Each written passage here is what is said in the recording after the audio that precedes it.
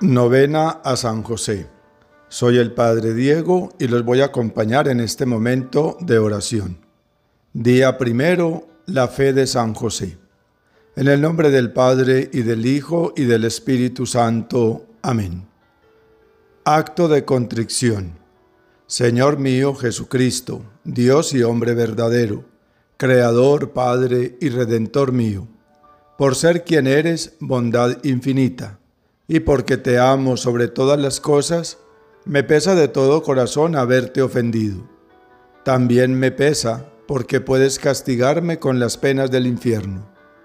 Ayudado de tu divina gracia, propongo firmemente nunca más pecar, confesarme y cumplir la penitencia que me sea impuesta. Amén.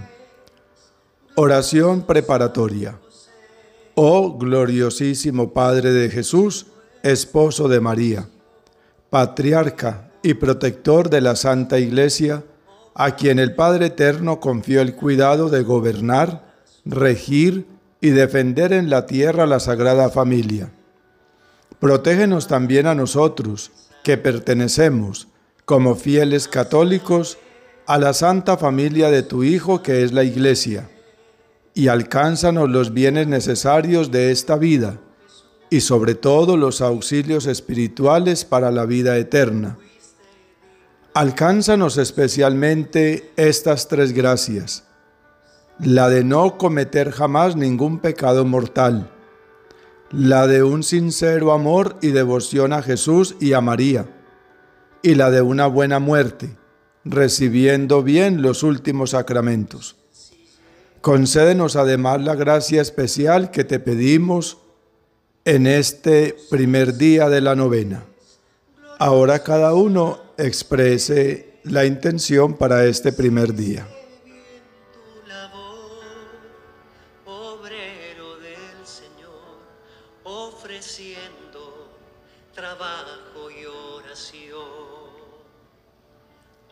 Lectura breve.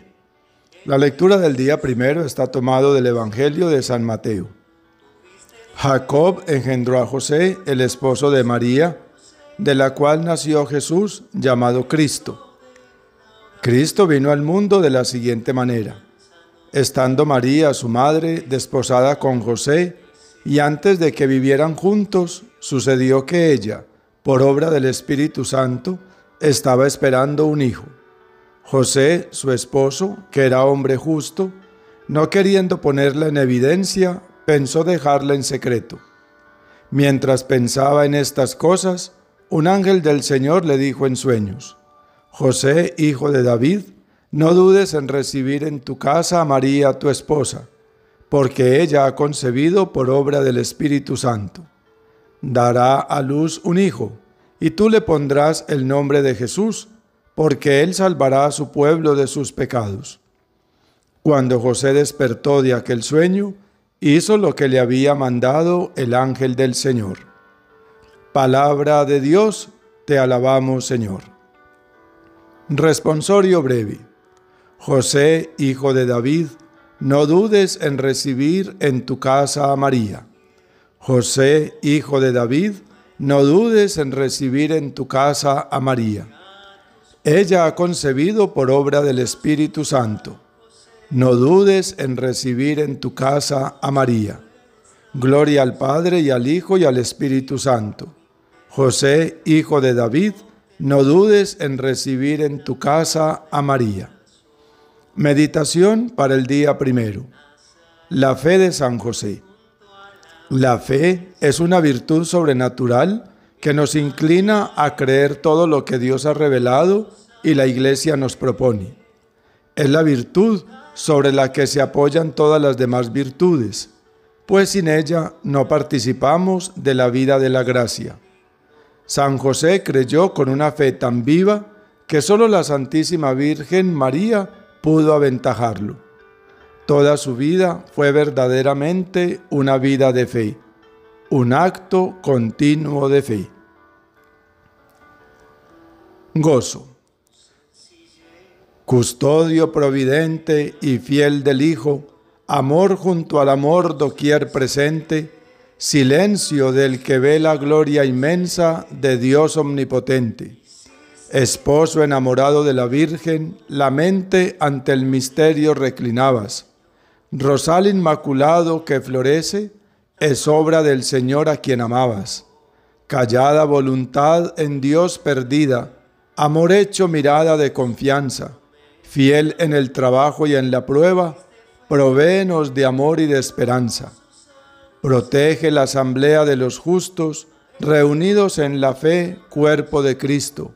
Sé Padre que nos lleve a nuestro Padre, amor del gran amor que nos da el Hijo. Amén. Oración del Señor. Fieles a la recomendación del Señor, nos atrevemos a decir, Padre nuestro que estás en el cielo, santificado sea tu nombre, venga a nosotros tu reino, hágase tu voluntad en la tierra como en el cielo. Danos hoy nuestro pan de cada día, perdona nuestras ofensas, como también nosotros perdonamos a los que nos ofenden. No nos dejes caer en la tentación y líbranos del mal.